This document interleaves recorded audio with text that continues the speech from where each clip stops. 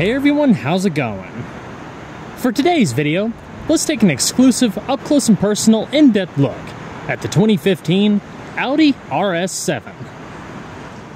And this is going to be a detailed, in depth review of the RS7. We'll start it up, show the engine, get an exhaust clipping over the performance data, take it on a quick drive, and show you a bunch of the unique aspects of both the interior as well as exterior.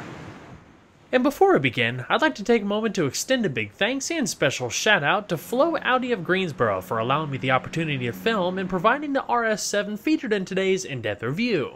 For more information on the rest of their inventory, check out flowaudigreensboro.com. And so, without further ado, let's go ahead and start her up. Let her run. The exterior of this RS7 is finished in the optional Daytona Gray matte finish, complemented nicely by an all-black perforated Valcona premium leather interior.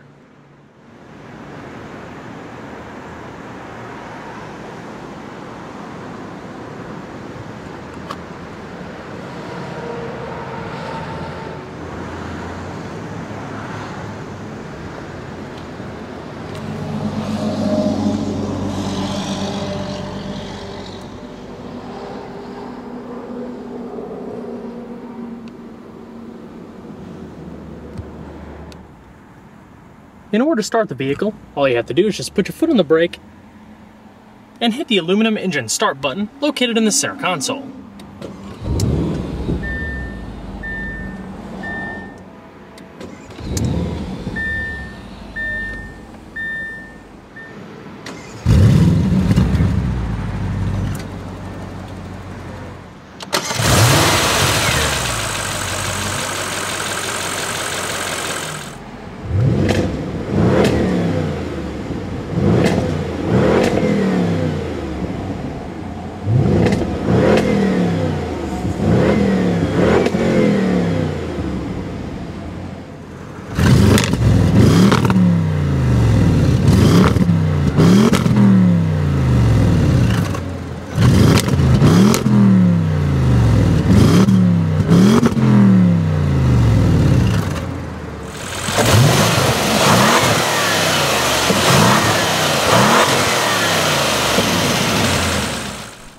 This RS7 features the optional Dynamics package, which, in addition to suspension upgrades, also gets a variable ratio electromechanical steering system that progressively builds resistance as it comes off center. Through Audi's Drive Select system, you can also adjust the stiffness between comfort to dynamic. It's routed through an RS-specific 3-spoke perforated leather-wrapped sport steering wheel that features grip bolsters up top and more subtle placements down towards the bottom. It's both comfortable to feel and pleasant to look at and features polished trim around each spoke and the airbag cover. While the S7 carries Audi's S-Tronic dual-clutch 7-speed automated manual transmission, the RS7 receives a ZF-sourced and RS-tuned 8-speed automatic, a more robust unit that's better equipped to handle the big jump in torque. Once in drive, you can activate the transmission's sport mode, which keeps the vehicle in the power band longer by raising the shift points. For an extra dose of sport, you can also shift it manually via the gear selector or via the steering wheel mounted aluminum paddle shifters. There's no launch control with the traditional torque converter design, but with all-wheel drive and over 500 pound-feet of torque, I can't imagine that would make much difference. While a traditional torque converter automatic may not shift quite as fast as a dual clutch unit, the 8-speed with its closely spaced gears still shifts quite quick with a commanding authority, accompanied by rev matching downshifts and a fantastic exhaust burble.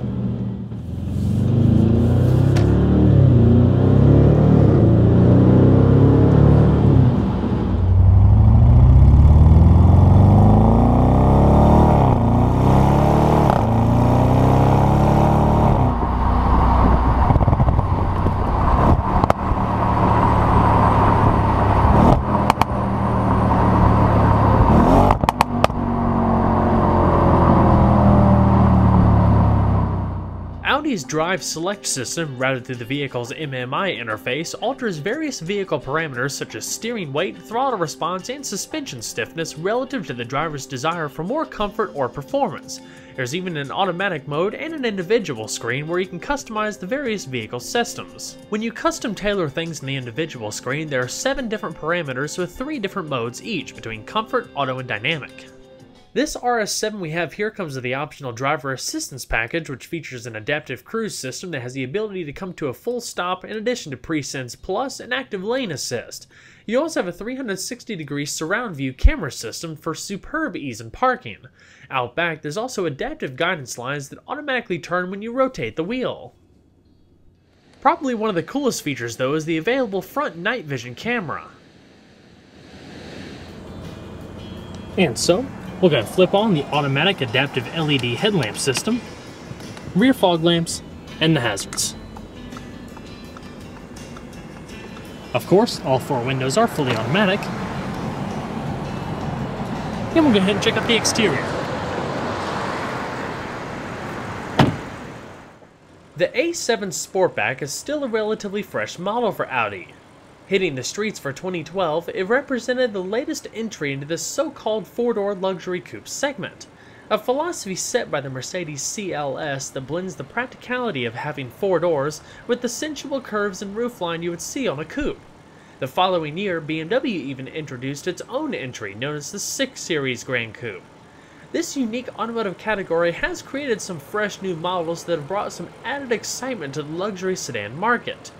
For 2013, Audi introduced the S7, a higher performance version of the A7 that replaced the standard supercharged V6 with a twin turbocharged V8, giving buyers the choice of a performance machine with Audi's relatively understated looks. Now, Audi's introduced its latest all-wheel drive crown jewel known as the RS7, like previous RS products offered in the States, such as the TT RS and the RS5, it represents the fastest and most powerful variant of the A7 lineup, with 140 horsepower and 110 pound-feet of torque more than the already impressive S7. In other words, that's 10 horsepower and 118 pound-feet of torque more than the recently refreshed R8 V10 Plus. Cars in this niche segment are largely based on the brand's mid-size offerings. Therefore, you'll find many of the underpinnings and components are derived from the A6, including engines. The RS7 uses the same compact power plant as the Euro-exclusive RS6 Avant. In general, just like the competition, the standard A7 does cost more than its A6 derivative. But what you get is an edgy, aggressive premium sedan that not only turns up the excitement from a design perspective, but it's a great representation of modern engineering and performance.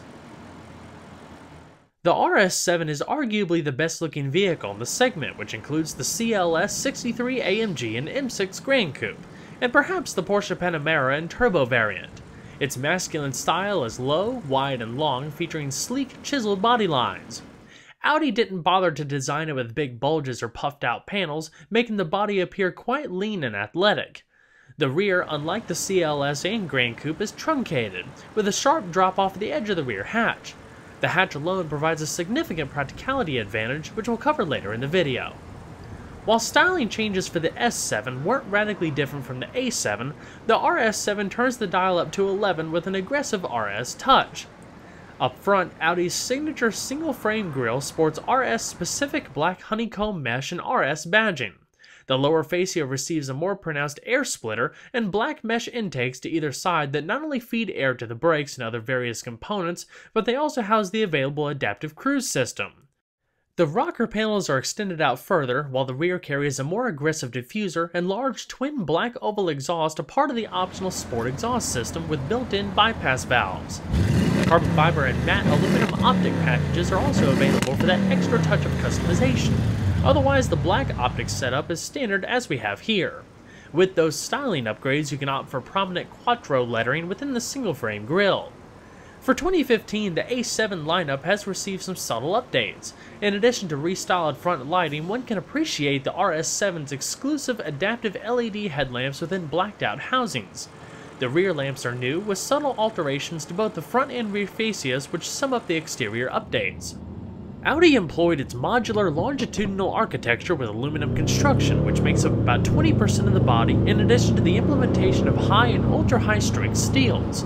It also comes standard with an RS-tuned variant of Audi's Quattro all-wheel drive system, which normally splits the torque between 40 and 60% front and rear, or the extremes of 70% of available torque at the front or 85% of it sent to the rear. Its Torsen-style center differential features a high locking rate with a separate oil cooler for better temperature regulation, in addition to a brake-based torque vectoring system that places light pressure on the inside wheel and hard cornering to enhance agility. A sport rear differential contains two superposition gears which work to distribute power between each rear wheel. The stability control system can be operated in both regular and sport modes or turned off completely. Thanks to the latest generation A6's longer wheelbase, the A7 boasts a comfortable and stable ride for longer traveling over rougher roads. The RS7's front and rear independent multi-link suspensions can be had with two different setups. An electronically adjustable air suspension with adaptive dampers is standard, providing the most comfortable ride quality. Normal ride height is 0.4 inches lower than the A7, but put the car into dynamic mode and it drops an additional 0.4 inches to 20 millimeters lower in total. On the highway, the car will automatically lower to dynamic mode to reduce wind resistance. If desired, you can opt for the firmer sport suspension and dynamic ride control, replacing the standard air shocks for traditional fixed-rate steel springs, paired with different three-stage adaptive dampers that are synced between one another, working to reduce heave and pitch. The standard cylinder on demand system deactivates cylinders number 2, 3, 5, and 8 when cruising, allowing the car to run on 4 cylinders when full performance isn't needed, and thus improving fuel economy between 5 and 10%. Thanks to this, the RS7 does not come attached to a gas guzzler tax and achieves stellar best-in-class fuel economy. For improved downforce out back, the RS7 also features a spoiler that can be raised manually or activated automatically at speed,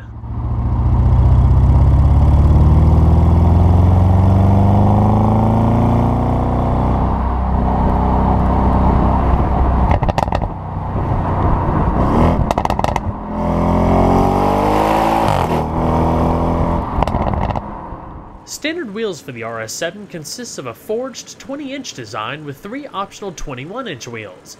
This one features the optional 21-inch 5-spoke blade-style cast alloy wheels with black inserts, wrapped in 275-30 high-performance Pirelli summer tires, able to hold nearly 1G in lateral cornering forces.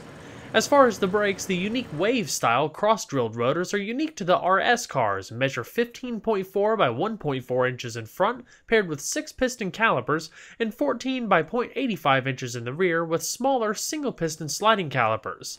The calipers are finished in red when you opt for the Dynamics package. With this setup, the RS7 is able to stop from 60 miles an hour in a rather short 108 feet. The Wave design shaves an additional 6.6 pounds off the vehicle's weight when compared to traditional circular discs. For superior grip and fade resistance, larger 16.5 inch carbon ceramic discs are also available, with anthracite calipers that shave 22 pounds off the car's weight.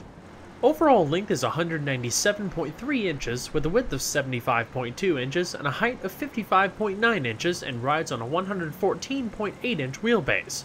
Total curb weight, as you see here, is around 4,453 pounds. The RS7 is powered by an all-aluminum, twin-turbocharged 4-liter V8 that packs direct injection, double overhead camshafts, and 4 valves per cylinder to yield a compression ratio of 10.1 to 1 and a red line of 6,600 RPM. Audi's compact engine design allows for a lower center of gravity, it integrates the twin scroll turbos and intercooler within the V between cylinder banks, covered by a heat shield. Since air doesn't have to travel far, throttle response is greatly improved.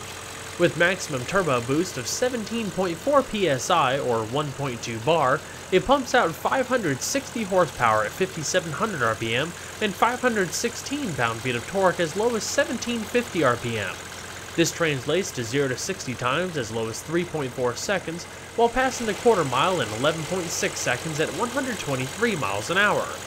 On the entry-level RS model, the top speed is limited to 155 miles an hour, but the Dynamics package unlocks 174 miles an hour, but adding the Dynamics Plus, which I don't know if is available in the United States, limits it to 190 miles an hour. As far as fuel economy, the RS7 requires the use of premium fuel and carries a 19.8 gallon tank. With the standard cylinder on demand system, EPA estimates range between an impressive 16 miles to a gallon in the city and 27 on the highway. The RS7 can be had in 11 different color schemes, including this Daytona Gray matte effect, but inside there are two color options and patterns including RS-specific honeycomb quilted Luna silver or black leather, or the black perforated leather like you see here when equipped with the ventilated seats. You even get your choice of three decorative inlays, from standard carbon fiber to brushed aluminum, and this car's layered aluminum and blackwood inlay. Audi always seems to deliver an attractive and sporty interior. The RS7 turns it up a notch with unique styling and materials. Interior fit and finish is excellent with plenty of leather surfaces and solid feeling components, adding to the feeling of superb build quality. What looks like metal most likely is, and the RS7 delivers plenty of satin aluminum throughout. The doors sweep up and meet up with the shape of the dash. There's storage down below, and all of your power accessories mounted on the door handle. You have two-person memory with easy exit function and power folding mirrors with blind spot monitoring. This RS7 comes with the optional multi-contour perforated leather RS Sport seats, a part of the Comfort seating package which features both heating and cooling functions, in addition to a wide array of power adjustments and massage features. Once you activate the massage and power functions, they automatically come up in the MMI system. You can adjust the intensity and location, in addition to power side bolstering adjustment, 4-way power lumbar adjustment, and power thigh extension. Of course, a wide variety of safety features is found throughout. And even though these seats don't have the signature honeycomb RS pattern, they still have a nice attention to detail with a little accent band that comes across the middle and a nice soft touch to them. Specific aluminum door sill plaques down below that are also illuminating, standard aluminum sport pedals, and padding across the side of the center console for a comfortable place to rest your leg. All of your lighting controls located to the left, you have a power tilt telescoping steering wheel, the dash is finished with a combination of wood and aluminum inlays and finished with a black Alcantara headliner. So let's go ahead and see if she sounds.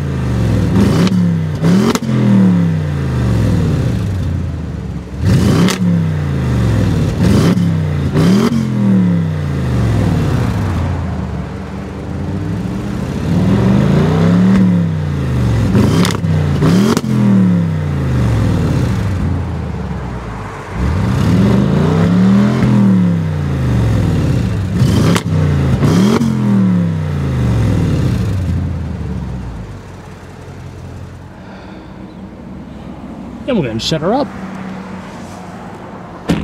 Beautiful solid panels.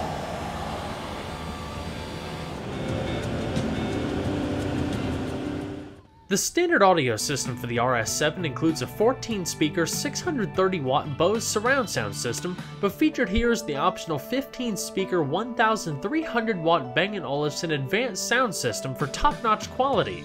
All media and entertainment is routed through Audi's updated MMI infotainment system that incorporates an 8-inch LCD high-res screen that automatically hides in the dash when not in use. It also incorporates LTE-based internet connectivity.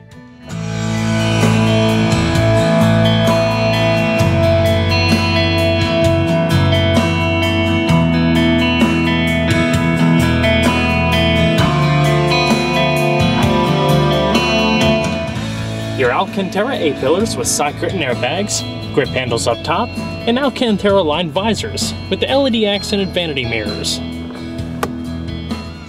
Standard auto-dimming view mirror, and in the top stack here, accented by your double-stitched Alcantara, you also have your three-position garage home link, LED reading lamps and interior illumination, controls for your fully automatic sunroof,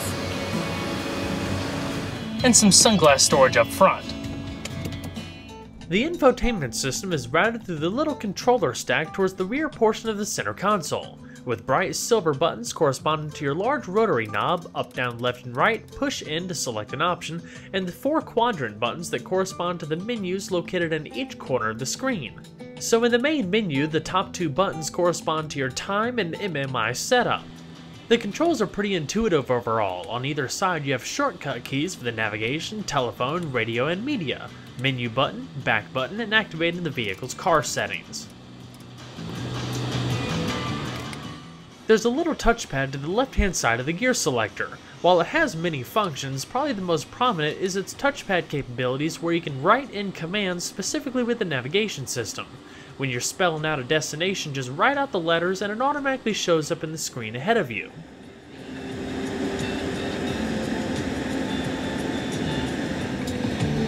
So beginning with tone, it's all the vehicle's audio adjustments, including the surround sound settings for the Bang & Olufsen audio system, bass, treble, and balance and fade. Now, in addition to some other features which we'll show in just a second, this new trackpad, found in many of the newest Audis, can also be used to adjust your balance and fade. By just dragging your finger across, you can position the sound to any particular place in the vehicle. While on this screen, you can use the little quadrant buttons to select the other options such as volume for various systems, navigation, and telephone. Accessing the radio screen brings up all the available stations. You have standard Sirius satellite radio as well as HD radio. Again, using the quadrant buttons to select the other corner options such as your presets, functions, so channels, seek, going back and forth, going between the different modes, and the radio settings, including audio adjustments and more. Media includes all of your other different options. Right now we're utilizing the CD player. You can import files to store on the jukebox, kind of like a built-in iPod with a hard drive. Various functions, same thing like you saw on the radio. Settings, and changing the source. Again, jukebox, SD card input, CD, DVD drive, iPod auxiliary integration, as well as hands-free Bluetooth streaming of audio. Bringing up navigation, it also looks nice in the high-res display, and has real-time traffic updates, customizable points of interest, and more. Using the quadrant buttons, you can go between your destination. All relatively simple. Route settings, information, real-time traffic updates, and settings. The RS7 also has the ability to stream a Wi-Fi connection. When you have your data plan connected, you can also bring up a terrain map with Google Maps. Of course, you can change the view mode, and more. Info just brings up your traffic updates again, your hands-free Bluetooth telephone, and automatically asks you pair it if you don't already have one connected. Now there's a whole lot of detailed functions within the car menu, such as the Audi Drive Select like we talked about earlier for the various vehicle driving modes, car systems in the bottom left, maintenance, vehicle diagnostics and service features, more detailed AC settings, driver assistance features, and personalizable options. The owner's manual is also loaded on the system in the top right hand corner, and if you want to figure out how to use any specific features, there's a lot of video tutorials that are actually pretty cool. And the display is raised when the ignition is turned on. There's also some really pleasant background music. It's actually really helpful and probably the most innovative feature demonstration setup I've ever seen in a modern vehicle. Coming down the center console, you have a little bit of black piano veneer accented in some satin aluminum brightwork coming around the main screen. Whereas down below, you have an in-dash CD player, where if you hit this little open button right here, it brings up the SIM card input for the vehicle's Wi-Fi function and two SD card inputs. Parking sensors, raising and lowering the rear spoiler and turning off the vehicle's traction control. Down below here are the front controls for the standard quad zone electronic automatic climate control system three-stage heated and ventilated seats for both sides, fan speed, different zones, and temperature on either side with independent automatic features. Because no matter which system you're messing with, it's all routed through the button. So if you want to adjust the fan speed, you hit the fan speed button and then rotate the wheel. If you want temperature, just push in on the wheel. Same thing goes for different zones. Press it and then switch it back and forth. Everything also shows up in the MMI screen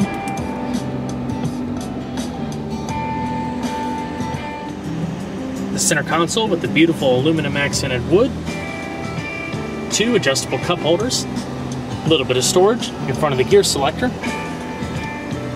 and a padded leather center console with two tiers. You have an extra power outlet, lined in velour, and your iPod interface. As far as the steering wheel, you have your driver information system located on the left-hand side, whereas you have your hands-free telephone, voice commands, and volume controls on the far right. Help. Many functions of the MMI can be operated quickly and easily with voice recognition. Voice recognition can be interrupted at any time by pressing the talk button on the steering wheel to say a Cancel. cancel. So as you can see, it lists all of the commands there, and you have those video tutorials if you need a little bit more help on setting it up. The driver info system is located within the digital display in between the speedometer cluster. Using the little arrows on the left-hand side of the steering column, you can go between the different modes, such as fuel, trip computer, media, telephone, and navigation. You can also bring up little sub-menus with that button there. Changing the modes. Automatic rain sensing windshield wipers. Your high beams, parking lamps, turn signal, as well as activation of the lane departure warning system. Your adaptive cruise function is located in the bottom stalk. Not to mention a heads-up display. You can raise it up and down, turn it off, and digitally shows your speed. If you like, you can also lower the screen while you're driving, but still keep the audio system going.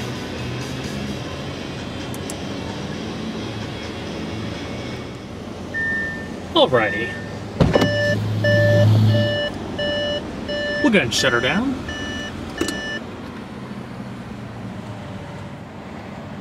And check out the back seat.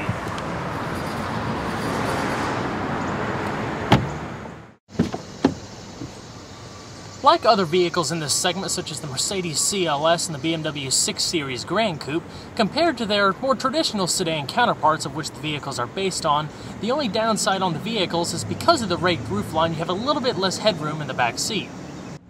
Even though headroom may be a little bit tighter, you'd be impressed about how much room there actually was in the A7's back seat. And just like the front, rear seat occupants are treated in the same amount of luxury, with deeply bolstered, sculpted seating, a little bit of storage tray in the middle so you can't sit five people, it's just four, one on either side. If you need extra cargo space, you can also fold down the back seats, which expand it quite nicely, and I'll show that when we get to the trunk portion.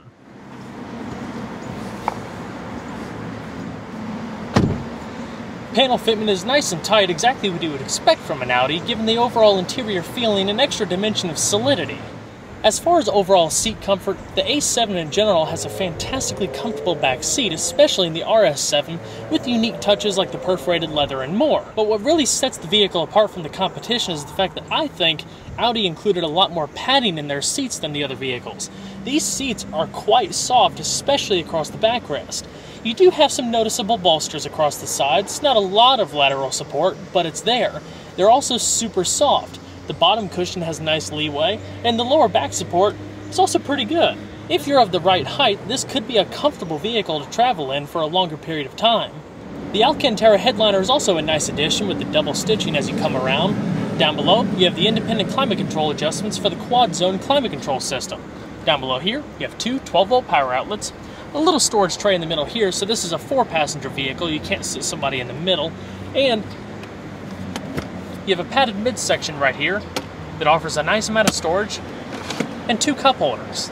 You can fold this little ski pass through here if you have some longer items like skis or something to stick up to the front, or if you have some bulkier items, you can fold down the back seat, and I'll show that in just a second. Of course, there's side curtain airbags in the rear. Backseat passengers are treated with plentiful amounts of ventilation, including the air vents down below here, and a couple extra in the um, B pillars up top. You have coat hooks here, up here, grip handles, and LED reading lamps out back. So, let's go and check out the rest of the vehicle, shall we?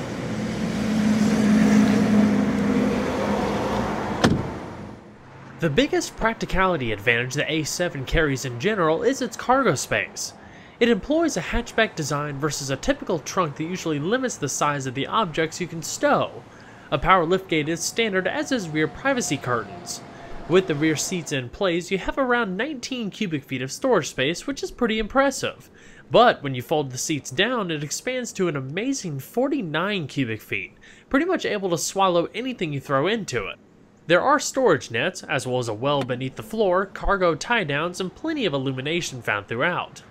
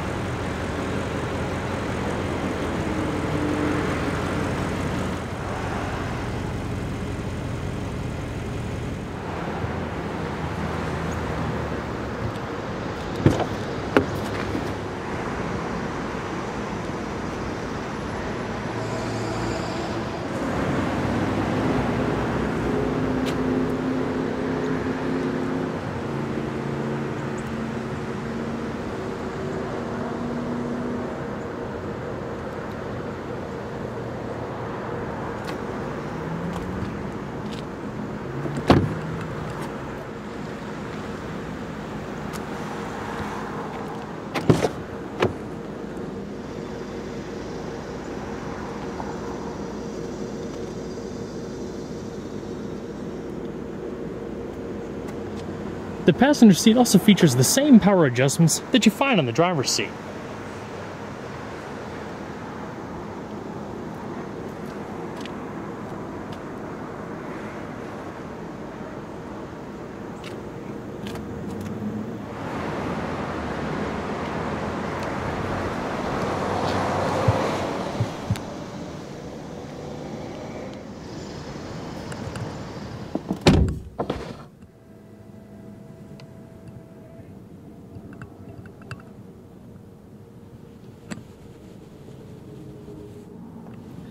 The glove box is locking. It has a modest amount of space as well as the vehicle's valet mode. The RS7 is an amazing blend of performance and quality considering the range between the A7, S7, and other high-performing Audi models. With unique interior styling and comfort combined with a sleek, aggressive exterior, the RS7 is quite the looker with the performance to back it up. Well, everyone, I hope you enjoyed the in depth look at the 2015 Audi RS7. Be sure to stay tuned next time, there's a lot more where that came from. Take care, everybody.